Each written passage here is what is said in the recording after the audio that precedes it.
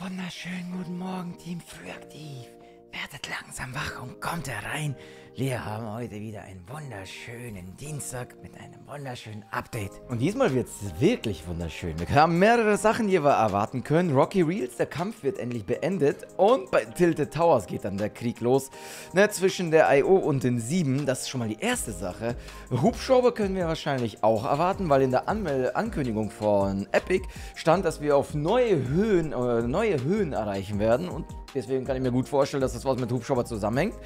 Würde ein bisschen viel sein, aber auch viele sehen darin natürlich das Star Wars Update.